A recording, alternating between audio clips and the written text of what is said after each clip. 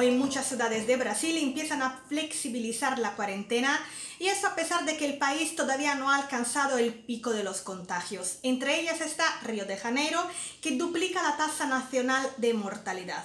La flexibilización se hará en seis etapas. La primera empieza hoy y no cambia mucho el día a día de los cariocas, que sí podrán por fin entrar en el mar, pero no podrán parar en la playa para tomar el sol. Además, se reabren las tiendas de decoración, de muebles y en teoría las iglesias, aunque un juez lo ha prohibido para evitar aglomeraciones. La realidad es que en la última semana muchas tiendas han abierto, incluso salones de belleza, y no hay ningún tipo de fiscalización, mientras cada vez hay más gente en la calle. Los expertos advierten de que es muy arriesgado porque el mensaje que llega a la población es que se acabó la emergencia sanitaria, algo que no es verdad.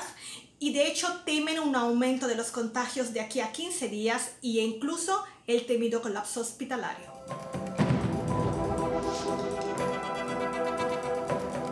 Con más de 4.600 muertos y más de 170.000 contagiados por el nuevo coronavirus, Perú se encuentra entre los 10 países con más casos de COVID-19.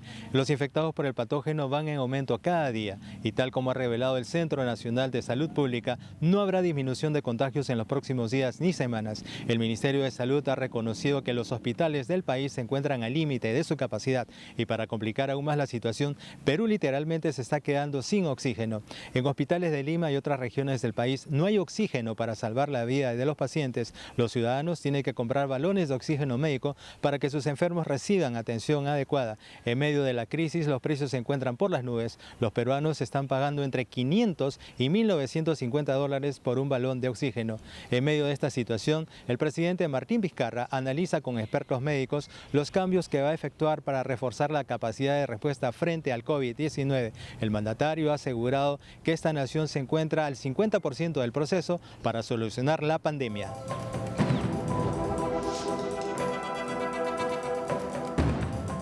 Siguiendo el lema del presidente uruguayo Luis Lacalle Pou, hacia adelante todo lo posible, hacia atrás todo lo necesario, más de 70.000 niños pudieron volver a ir a sus centros de estudios y tener clases presenciales en una segunda etapa de la vuelta a clases en Uruguay, donde algunos estudiantes señalaron que se sentía más como ir a una visita al doctor, que a su centro de estudios. Esto es porque se hizo obligatorio el uso del tapabocas, el distanciamiento social, había medidas sanitarias al ingreso de las clases y los grupos han sido divididos. La vuelta a clases ha sido escalonada, algunos niños van unos días, otros días van otros y no van por más de cuatro horas. Esto ha sido controversial también por quienes han señalado que va en contra de eh, la petición del gobierno del distanciamiento social y se toma la medida cuando se está